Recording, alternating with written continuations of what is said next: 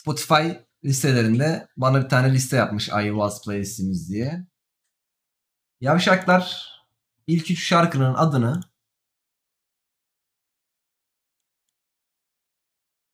I Was Professional Player yapmışlar.